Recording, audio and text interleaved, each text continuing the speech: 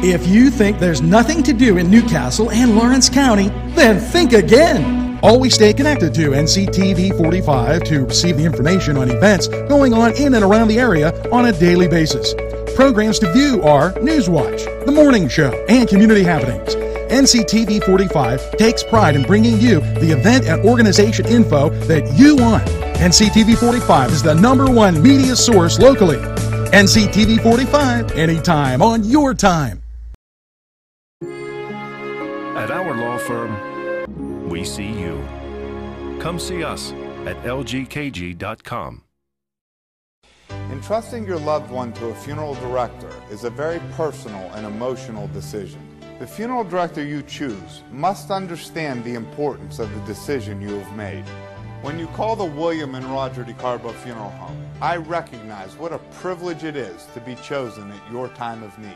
We will provide you and your family with the best service possible, with sincerity and compassion. The William and Roger DeCarbo Funeral Home, family owned and operated since 1941.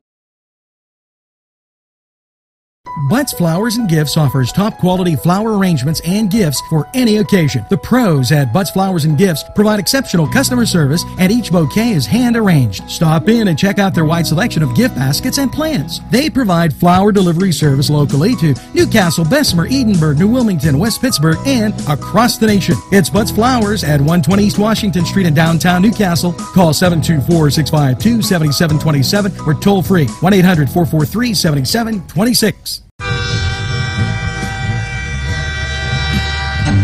NCTV 45, The Train, anytime on your time.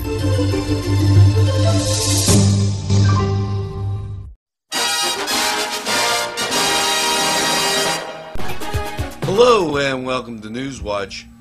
You know, Tuesday saw brush and debris being cleaned from the old railroad track side of the courthouse hill and uh, we're going to go to this video, take a look. The cleanup really looks great. Let's check this out.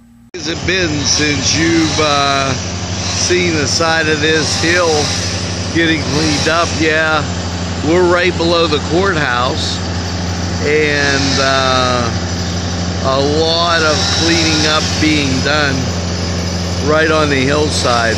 Looks excellent. Now, uh, I thank you for joining Newswatch, and uh, we're going to uh, head on back to the studio. We'll be back right after these messages.